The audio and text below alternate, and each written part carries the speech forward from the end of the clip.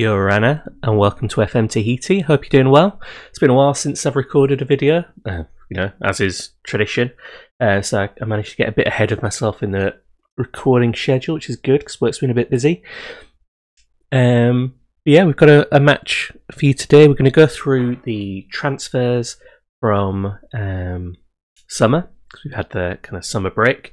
A uh, bit of an update on what's going on, and then we'll play our opening match. I've got us at the very start start screen. You can see Rodrigo there in his uh, Roro2 blue um, shirt. Actually, I'm going to have to change his appearance. I that's the wrong team colour. He's been wearing it for a while now.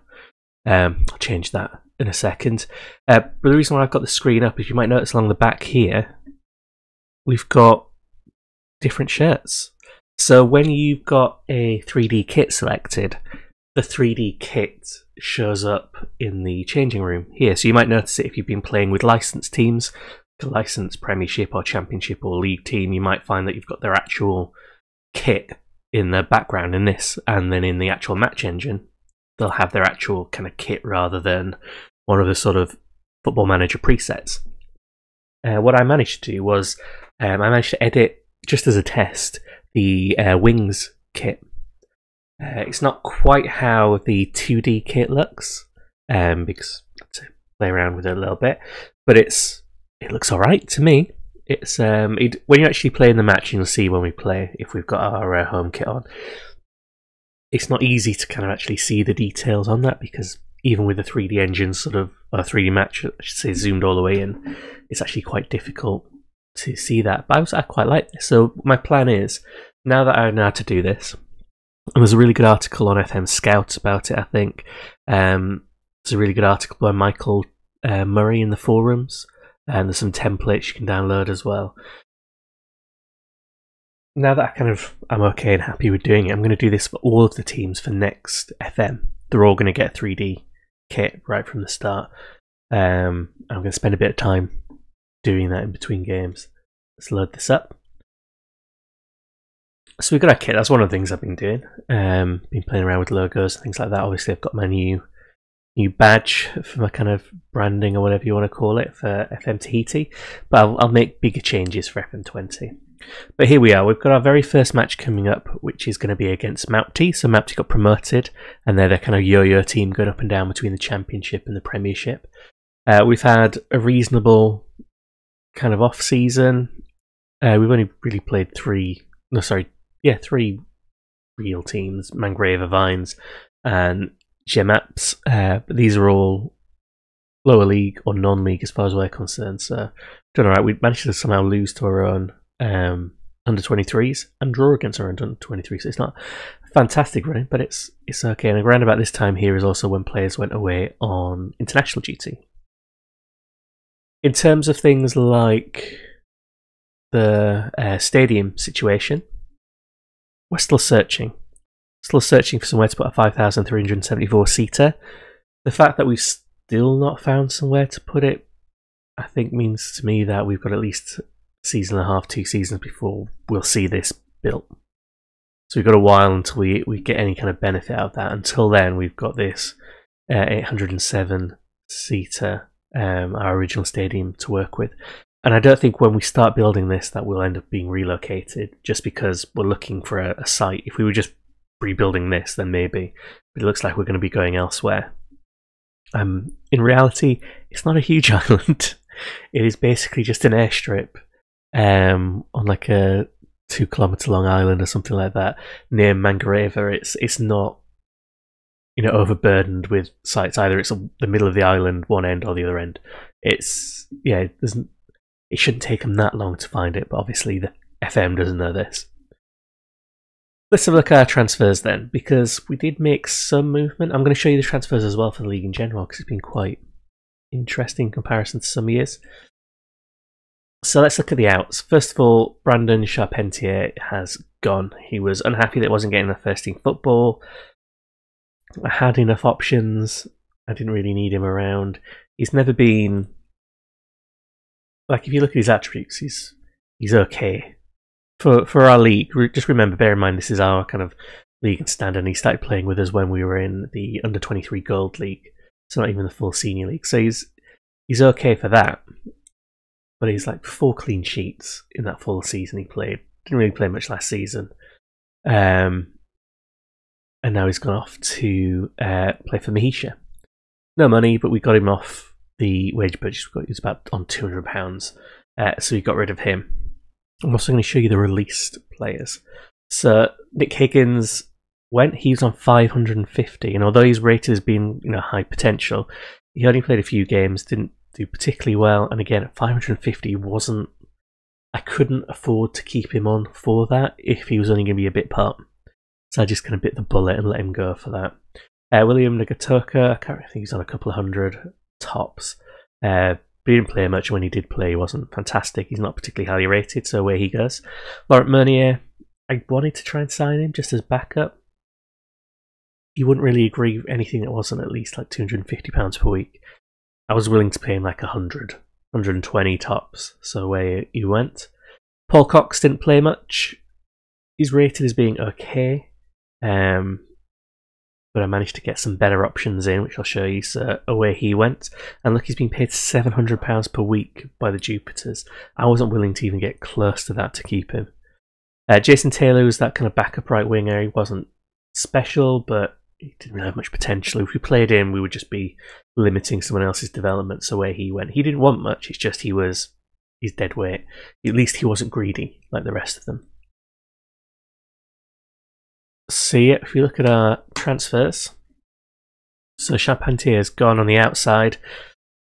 We managed to bring in Julian Lenzini, reasonably well rated, right winger, essentially comes in to replace um, Taylor as kind of backup on the right because we'll have uh, Minan on the right and we'll have um, Logan Frey on the right as well. He's got some good traits. He runs down the right, gets forward, plays short, simple passes, knocks ball past the opponent. He's he's a winger. He's very much that kind of winger role. This next player, Feliz Falapapalangi. That's right, Feliz Falapapalangi. Um, isn't very good. I'm not gonna lie. I bought him because of his name. I just want to say uh, Falapapalangi as much as possible. He's not going to play a single game for us. I've, I've no doubt about that. He is a complete I was going to say vanity signing, but it's not quite vanity, is it? It's just a stupidity signing. There's he has no place in the team. He is complete and utter backup. He is rated actually as being quite high in potential. Um, his attributes don't seem to bear that out, but we'll we've got him. We'll keep him. We're actually doing quite well for keepers, so he probably won't get a look in. But uh, Falapapalangi is a good name to say. I feel like I've said it so many times I might have summoned him by accident. Another good name, Diego Kaiser. Um, I can't remember where we got it, Where he was from. Uh, he was from uh, Moorea, Papeete, and then Moorea. So he's stayed at some good good clubs. He's sort of covering the centre of midfield because Meunier is gone, so a bit lighter there. He tries to kill the balls. He does one twos. He tries to pass rather than score. All things I'm quite happy about. His attributes don't look amazing, but he's got good passing, good determination, decisions, flair. Physically, he's all right, and he's six foot four, so he's another giant to add to the team. And importantly, he's cheap, 190 pounds per week is affordable for us. Then we've got Manuel Kalai, Tula Merton, six international goals and 15 caps. He's already worth about 24 grand for us. He, we paid a little bit extra for him. Good finishing, good anticip- uh, anticipation, aggression, bravery, um, reasonable physical stats. He runs with the ball, shoots with power he should be pretty good. He's from Huahine Islanders. We picked him up for nothing because they were uh, not Huahine. Yeah, Huahine. He was on loan at Bora Bora, so he's got Premiership goals. He's got a reasonable amount of Premiership goals. Um, I'm sure he could do it in the Championship as well when he was at the Takara Terrors. He should be good competition. He's actually a decent backup with it, you know, being at a proper team like us instead of Bora Bora or Huahine. Um, should actually do quite well when we give them a chance. We've got Michael Twig from the Humpbacks. So we he came through our youth intake when we were at the Humpbacks. Um, he's rated as being particularly high potential, and he is that good kind of right back cover uh, that we need. So this is Paul Cox has gone. Twig has come in. Two hundred twenty pounds is a bargain. He's got a reasonable amount of experience, just not full seasons particularly. And he's also flexible. He can play on the left. So we've got options. Another option on the right is Robert uh, Marama. Um, Gambier, 33 caps, so he's got a bit of international experience. He looks okay.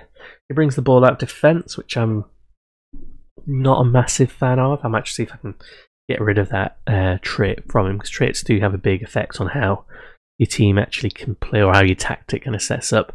Um, but again, he's a good good option. Uh, he's no nonsense, which is generally what we like to see. Uh, we've got Nicholas uh, Inai or Inais or In Inal. Never tell with that one. I think that's Inal. Uh, on the left, he was recommended at the time as being quite good, and then he came to us, and he's not very good. This is where we maybe made a bit of a misstep. Um, he's got some good traits. His attributes are fantastic. I'm sure he'll actually be good if we gave him a chance. I'm sure he'll perform quite well. He did play for Moorea. He's got you know good Premiership experience. He's played in a good team, so he's he's good in that sense. He's got the international experience. He's just not amazing. He's not going to be first choice. Paul Manuel or Manuel is going to be first choice. And then we've also got on the left Joris Renard. So we paid two hundred fifty pounds to get him from um, San Pedro, uh, San Pedro, Martani San Pedro. He looks really good for a 17 year old. He's already got three international caps. We're only paying £55 a week. Um, I think I've got him like a two or three year youth contract like that, and then we've got oh no, oh like a pre contract, and we've got an optional one year extension on there too. And he's fairly professional. Just plays left foot, no player traits um, as yet but he's really highly rated. And again, he's a bit of a giant, which, you know, I quite like.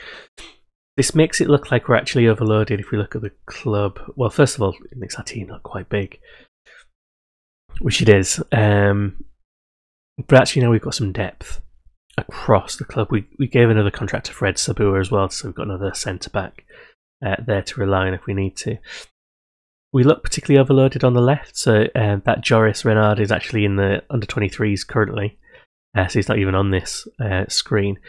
So we've got um, Inai, Manuel, Bauman, and then Renard. But Bauman's going to go. He's rated as being quite good, but we've got 1.5 thousand pound. Uh, one point, yeah, 1.5 thousand pound bid in. We can get rid of him, and then if we consider it the kind of exchange we've got going on, we're paying Renard 55 pounds per week, paying him 190. It's okay. We can get rid of him, and he did come in. He did do all right. He was always a decent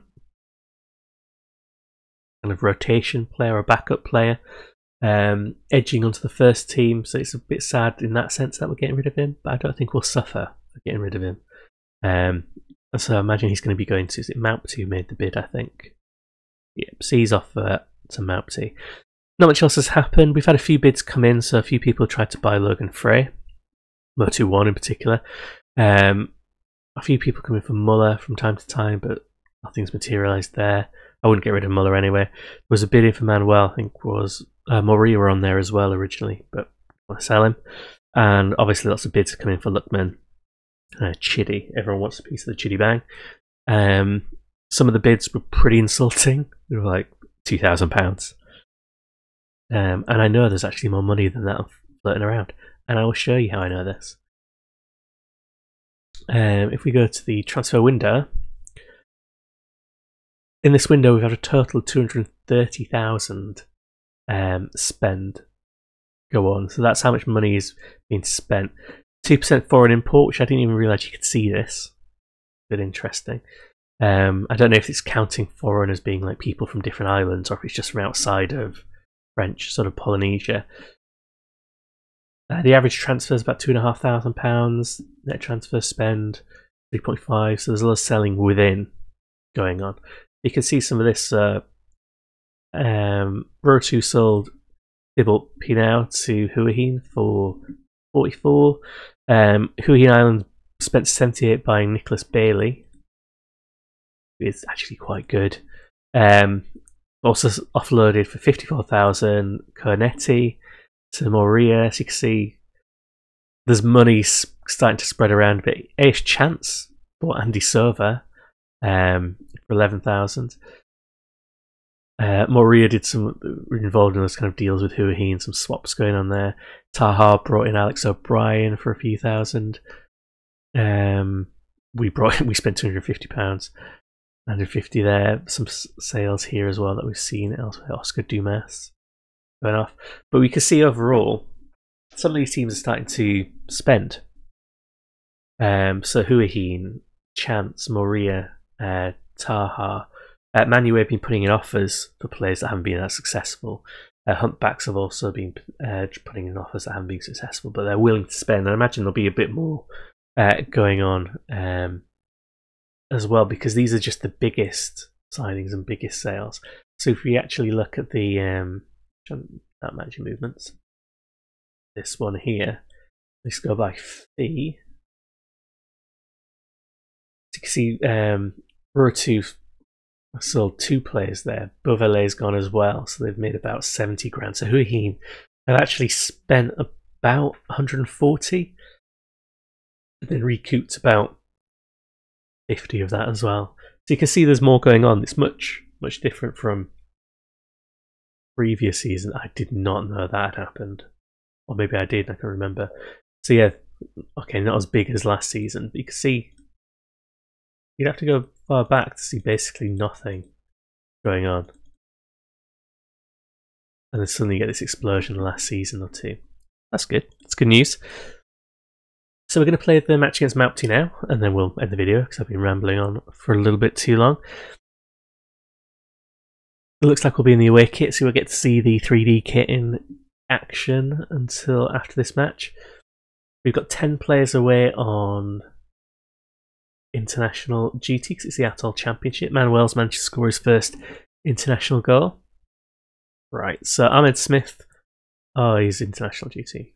We missed that. Uh, so Pujol will start. On the right hand side, Bon is available, so we'll get Bon in. On the left hand side, Lamb and Twig are away, so Thomas will start. And then in the middle here, I don't really rate Fred Sobir as being that good. I'm going to go for the standard of Muller and Maggie. I'm actually a bit sad that Maggie didn't get that international call up. So I'm glad he's here playing for us, but he's missed out internationally. Uh, on the right, Logan Frey is going to make the start. On the left, um, right on the left, let's. Oh, he's on international duty as well. Let's bring him up anyway, so he knows there. You see, I've got some backup keepers here as well, so I'm, I'm all right keeper wise. So on the left, it's going to be Baumann for his um, last match. We might have to delay that transfer just so we've got him for the rest of the um, international window. When it comes to the actual centre midfield, going to play Diego Kaiser and Jean Baptiste Moreau. Jean Baptiste is underrated when you look at his attributes, but has a fantastic record for us. What a season! Not bad for a backup. Then up front, who we've got? So we've got Kalai available, we've got Chidi available, and we have Wallace um, available as well as Chabert and who if we needed to. So let's have Chidi, Clow, and then we'll just fill in the rest of the bench with whoever we've got left. So Sabua, Lenzi, Hewitt, Stroud. Wallace, uh, Chabert, and I'm going to go grab Keeper. I'm going to bring on Palapapalangi.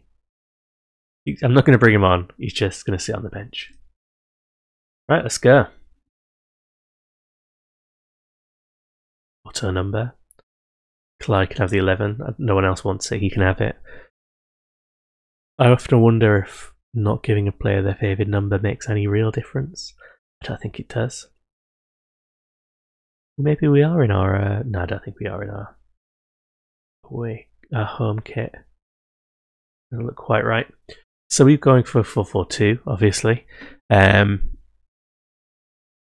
they've got a range of players who I don't really recognise. Oh, Grove, I do, I think. Yeah, Tim Grove. He's a striker that they're playing in the centre of midfield. Because three strikers up front's not enough. You could have one hidden here. Uh, but he's getting on a little bit. Who's this Lutu guy? Yeah, I say that he's going to score right away, isn't he? Okay, favourites for a reason. So they're newly promoted. Um, oh, I've not changed my shirt. Once I finish recording this video, I'll go and do that. Yeah, wearing the green. So no uh, kit for us. I've not done like the 3D away kits or anything like that. I'm not. You know, I'm not just not got that kind of time. I only did the home one as a kind of tester to see if I could, and it's worked out all right. So they're newly promoted. Let's see what we can do. Baumann in. Go. Maybe I should charge. Ooh, this is a little bit dodgy, isn't it? So the offer for Baumann is from Mount And he's just made their keeper look a fool there. I guess technically, like the gentleman's agreement would be not to play him until the against Mount until the transfer's gone through, but you know, needs must, and I forgot to. Right, Frey nods that on. Chidi goes inside, put him through. Kalai, first goal. Nicely Since That move was quite good. We just seemed to cut around a lot of the players once Frey got that movement going. So yeah, Chidi kind of goes past him. And that was really bad defending from Mount I, I know we've not really seen enough of them to be able to predict what's going to go on, but the past, well, I say the past, since the start of the game, like the start of the database, the save, oh, Chidi at the back post. Easy. It's a good ball in by Baumann. Does Baumann want to stay? Because whatever Baumann can do, Renard can do as well. I'm sure of it. We've got enough depth. But he is given his all against the team that are about to buy him. He's going to have a really awkward first training session, isn't he?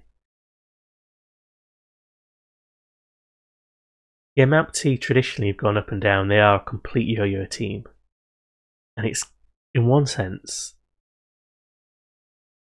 it's oh no, what was that? Baumann's doing it all, all action, so he's going to get sent off as well. He's decided he's going to limit the damage he's done. Yeah, there we go. Yeah, he didn't want to do too much damage to the team he's going to, so he's he's scored, assisted, and now he's um, going to rest. Uh, right, let's bring on Wallace for Chidi. Because at least Wallace has got kind of the ability to play on the left. Normally a bit further up, but he can do. Apply, get there. We'll see how this goes. We might get back into it. Frey getting out. Frey's doing his defensive duties today, alright.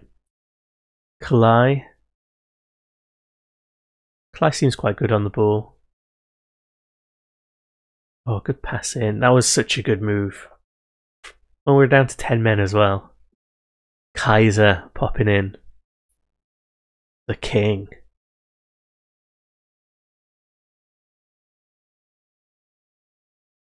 Clyde looked like he was shaping it for a shot and they just put him through. I think we're alright. 20 minutes in.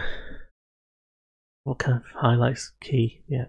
Just checking I hadn't put them on um, like extended or comprehensive or whatever. Yeah, some Apti go up and down. In one sense, it's good because they're almost certain to go down this season or be in the fight, which means if you're another team, that gives you a bit of a cushion. There's only really like one relegation spot to worry about if Mount are around. Um, but it's frustrating because they get to the championship and then manage to do quite well. Kalai. Oh, I tried the follow up. Gone Frey. So they they want another goal. They're not stopping.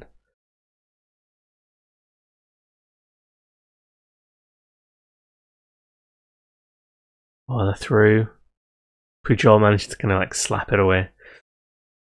Yes, I'm up to then come up from a championship, and by doing that, they stop like another team from another island or another team that's not been in the Premiership from coming up.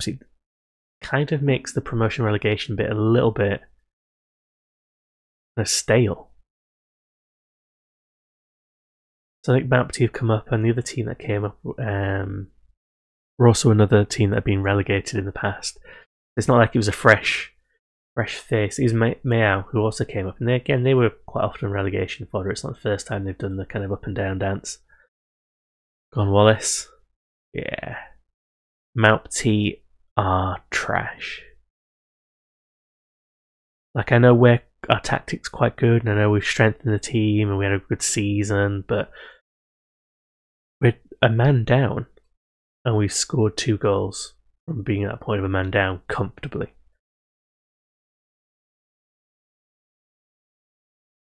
Almost another. Um, in the kind of post-season sort of awards and stuff, we didn't win Manager of the Year. Um, we weren't even in the top three. Uh, the Motu One manager won it, I think, which is a bit weird because he didn't really do much other than just keep him up. So I think that's quite enough. Um, considering Motu One, I don't think have actually ever been relegated, so it's not like they were relegation favourites and he kept them up. Good clearance. Uh, and then the kind of like player for next season and top goal scorer or young player for next season were kind of predicted. And none of our players are in there, which is a little bit harsh. And then we had the kind of title predictions, and we were predicted to come in about fifth or sixth. So we're not expected to actually win the title, but we're not expected to struggle. And the board are kind of with that as well. They're expecting, I think, mid table, expecting us to win the uh, Mutineer Trophy, um, expecting, you know, a couple of rounds into the Inter Island Cup.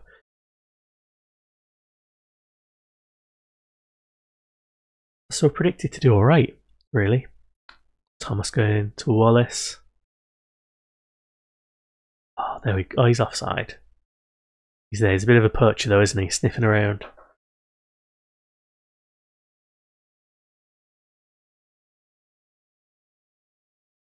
Also did some general off-season checking from players. So Andre and Pons are still playing abroad, abroad, abroad, not on a boat or anything. They're playing abroad. Boscalgo stopped him.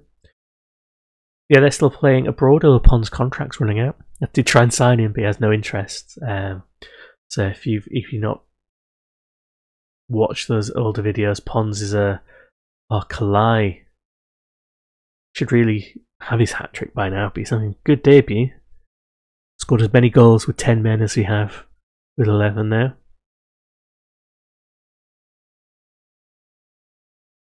Kaiser almost had that as well. I feel a bit bad for uh, Kaiser. Yes, yeah, so Pons was a right winger who was amazing when we were at Humpbacks and then went to play Saudi Arabia. He's now worth quite a bit of money. Uh, Ian Andre was a sort of attacking midfielder who was probably the best player attribute wise we've had in the league. There are a few now that are getting close to him actually in other teams, not in ours, but in other teams. Um, but he again he went abroad as well. I think probably to Saudi Arabia or Qatar. Uh, so they're still abroad doing that. Yanin, one of our best strikers ever when we are at the Humpbacks, is signed up to Taha, I think it is, and Gerard is still at Moorea. They've got a reasonable goal tally for them. Not quite humpback standards, but not bad. Cornwallis, everyone's offside, so you know, almost, almost managed it. I should probably make some subs. Um, let's bring on Lenzini on the right. Let's give Kaiser a rest and bring on Hewitt. Then it doesn't really matter who I bring on for some of these. Let's bring on Sabua for Mother. Oh, that's too many subs. I've already made one, of course.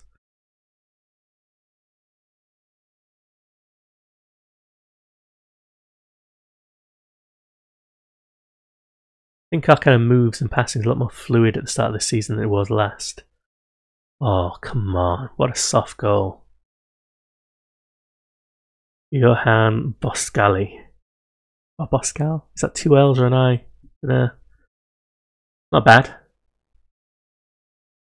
mean, it was bad goalkeeping by Pujol. He should have held that or managed to actually deflect it out. But no clean sheet for him. One hand, not surprised because he's not that good a keeper. compared to uh, Smith. Um, but at the same time, they've not really threatened that much. So it's a bit irritating to give that goal away. But, you know, we'll we'll accept a six-one. We'll live with that. It'll be okay.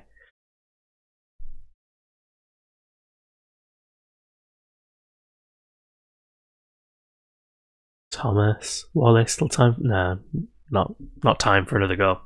So there we go, six-one. Shot wise, twenty-five to their twelve. It's not like it's complete domination, but then we also did have a player sent off. Doesn't really help us when it comes to the international um, the window. So we're top just by virtue of that being the opening match of the season for, for the Premiership. Goal difference of five. That'll soon change. Schedule wise, um, when we come back for the Bora Bora Taha um, matches because they're quite big teams with some good players in. Um, yeah, thanks very much for watching. As always, if you've liked it, please like or subscribe or comment. Let me know what you think. If there's anything you want to look at in particular detail. Um, you can also read stuff that I've been writing um, on dictatethegame.com. Got a, a, nice, shiny new website, so you can go have a look at that.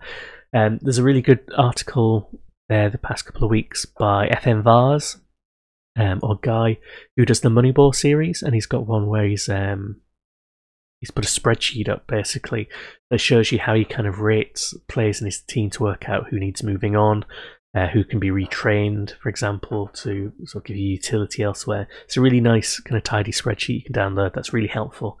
Um, I've not used it for this particular game, particular save, just because I don't have a huge amount of transfer options kind of available um, to me. If I was still at the humpbacks, then it'd work because I have options.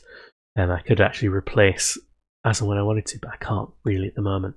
Uh, but yeah, thanks very much for watching, and I'll see you in the next episode.